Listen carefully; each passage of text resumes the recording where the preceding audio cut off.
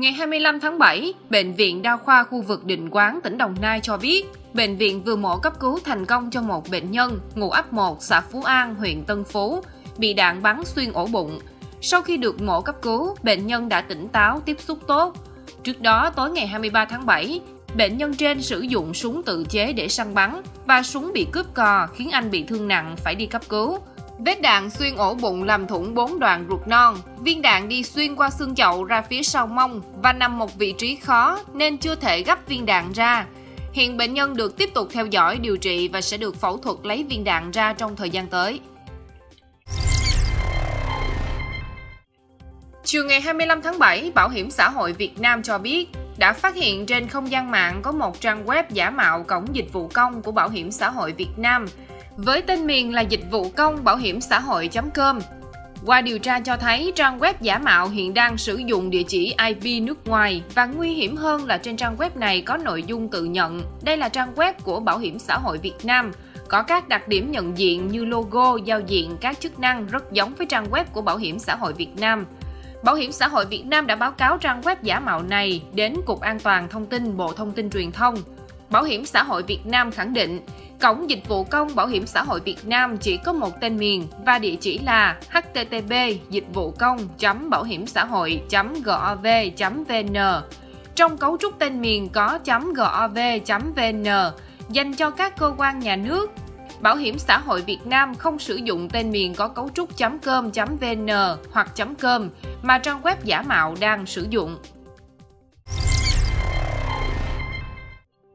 Theo kế hoạch, ngày 10 tháng 8, Tòa án Nhân dân thành phố Hà Nội sẽ xét xử bị cáo Lê Thanh Thản, Chủ tịch Tập đoàn Mường Thanh về tội lừa dối khách hàng với khung hình phạt tiền từ 100 đến 500 triệu đồng hoặc phạt tù từ 1 đến 5 năm.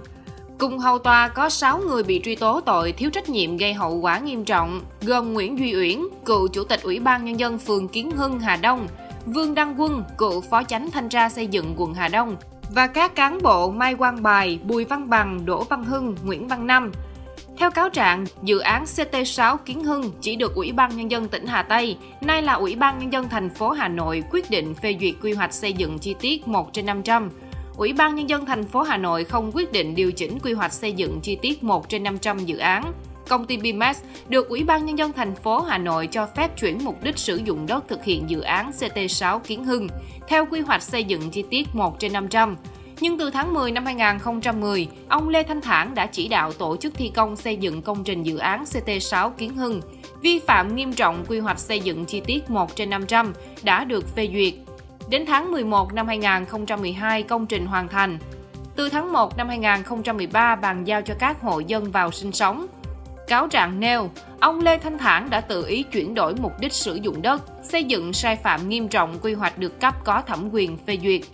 Kết quả điều tra xác định, ông Lê Thanh Thản đã bán 488 căn hộ cho 488 khách hàng không được nhà nước công nhận quyền sử dụng đất, quyền sở hữu nhà và tài sản khác gắn liền với đất, sổ đỏ, thu lợi bất chính tổng số tiền hơn 481 tỷ đồng, cũng chính là số tiền gây thiệt hại. Trong vụ án, cơ quan công tố xác định có hàng loạt cán bộ Ủy ban Nhân dân phường Kiến Hưng, thanh tra xây dựng quận Hà Đông đã làm ngơ cho ông Lê Thanh Thản, tự ý điều chỉnh khi xây dựng dự án trên. Trong công văn 2240 trên UBND TCKH gửi chùa Ba Vàng ngày 24 tháng 7, Ủy ban Nhân dân thành phố Uông Bí nêu rõ, Ngày 15 tháng 5 năm 2023, thành phố Uông Bí đã ban hành quyết định số 2501 trên QĐ UBND về việc thành lập đoàn kiểm tra đối với các di tích lịch sử văn hóa, đình chùa trên địa bàn thành phố và ban hành công văn số 1574 trên UBND TCKH ngày 23 tháng 5 năm 2023 về việc kiểm tra việc quản lý tiền công đức tại các di tích lịch sử văn hóa đình chùa trên địa bàn thành phố trong đó đề nghị chùa báo cáo theo đề cương hướng dẫn gửi kèm. Tuy nhiên, chùa Ba Vàng phản hồi chưa nhận được văn bản, nên chùa chưa thực hiện các nội dung tại văn bản số 1574 trên UBND TCKH và báo cáo về Ủy ban Nhân dân thành phố Uông Bí để có cơ sở tổng hợp báo cáo bổ sung Sở Tài chính, Bộ Tài chính, Ủy ban Nhân dân thành phố Uông Bí đề nghị trụ trì chùa Ba Vàng chỉ đạo báo cáo nội dung quản lý tiền công đức tại chùa theo thông tư số 04 trên 2023 trên TT BTC ngày 19 tháng 1 năm 2023 của Bộ Tài chính hướng dẫn quản lý thu chi tài chính cho công tác tổ chức lễ hội và tiền công đức, tài trợ cho di tích và hoạt động lễ hội. Thời gian báo cáo trước ngày 28 tháng 7 năm 2023. Trước đó, Bộ Tài chính có báo cáo kết quả thực hiện thí điểm kiểm tra việc quản lý tiền công đức tại các di tích lịch sử văn hóa đình chùa trên địa bàn tỉnh Quảng Ninh năm 2022 và 4 tháng đầu năm 2023. Theo đó, tổng số thu 61 tỷ đồng, chi 29,4 tỷ đồng. Báo cáo cũng cho biết, còn hơn 50 di tích ở Quảng Ninh không có số liệu, trong đó có chùa Ba Vàng là di tích cấp tỉnh, được đánh giá có số thu công đức cao. Trước thông tin trên từ phía Bộ Tài chính, đại diện chùa Ba Vàng tuyên bố không nhận được văn bản yêu cầu báo cáo về quản lý tiền công đức. Ngày 25 tháng 7, ông Trần Chiến Thắng, chánh thanh tra tỉnh Kiên Giang cho biết, qua công tác thanh tra, phát hiện sai phạm số tiền hơn 43,5 tỷ đồng, trong đó kiến nghị thu hồi nộp ngân sách nhà nước gần 43,3 tỷ đồng, xử lý khác 280 triệu đồng. Cơ quan thanh tra kiến nghị xử lý hành chính đối với 41 tập thể, 166 cá nhân và chuyển cơ quan điều tra 5 vụ việc có dấu hiệu vi phạm pháp luật hình sự. Cụ thể, thanh tra tỉnh Kiên Giang chuyển 3 vụ việc sang cơ quan điều tra, gồm kết luận sau khi thanh tra đất đai tại Phú Quốc, kết luận sau khi thanh tra tại công ty trách nhiệm hữu hạn một thành viên cấp thoát nước Kiên Giang và kết luận sau khi thanh tra tại Sở Nông nghiệp Phát triển Nông thôn. Thanh tra huyện Kiên Hải chuyển một vụ sau khi thanh tra tại Phòng Lao động Thương binh Xã hội. Thanh tra thành phố Phú Quốc chuyển một vụ sau khi thanh tra tại Trung tâm Giáo dục Nghề nghiệp, Giáo dục Thường xuyên thành phố Phú Quốc.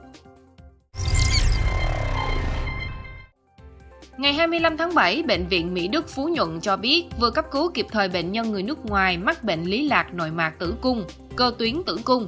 Bệnh nhân là chị Y 34 tuổi, Đài Loan, Trung Quốc, đang công tác tại Bình Dương và Đồng Nai. Tại Đài Loan, chị được chẩn đoán lạc nội mạc tử cung, trong cơ tử cung và được cho điều trị nội khoa trong thời gian 5 tháng. Khi đến Việt Nam công tác, chị đang dùng thuốc theo toa và tình trạng vẫn ổn định. Tuy nhiên, một thời gian dài dùng thuốc, chị thấy âm đạo ra huyết nhiều, rỉ rả liên tục kèm đau bụng. Đến khi lượng máu ra nhiều khiến chị bị hoa mắt chóng mặt. Toàn thân vã mồ hôi nên được đồng nghiệp đưa đến cấp cứu tại bệnh viện Mỹ Đức Phú Nhuận. Ngay lập tức, các bác sĩ xác định phải mổ cấp cứu để kiểm tra. Có khả năng phải cắt bỏ tử cung do bệnh nhân bị mất máu quá nhiều. Nếu không phẫu thuật kịp thời sẽ dẫn đến tình trạng rối loạn đông máu, suy gan, suy thận và ảnh hưởng đến tính mạng. Sau khi trao đổi với gia đình qua FaceTime, chị đã đồng ý phẫu thuật. Sau khi khảo sát và cân nhắc hết các khả năng, ekip phẫu thuật đã quyết định cắt bỏ tử cung, chừa hai buồng trứng với hy vọng chị Y có khả năng điều trị thụ tinh trong ống nghiệm bằng phương pháp mang thai hộ sau này. Sau 5 ngày được điều trị, sức khỏe chị đã dần hồi phục. Theo tiến sĩ bác sĩ Huỳnh Thị Thu Thủy, Bệnh viện Mỹ Đức, lạc nội mạc tử cung trong cơ là một bệnh lý phổ biến, xuất hiện ở khoảng 30 đến 60% phụ nữ thuộc lứa tuổi sinh sản. Đây là một bệnh lý lành tính nhưng có thể ảnh hưởng đến khả năng có con, cũng như ảnh hưởng đến sức khỏe của người phụ nữ.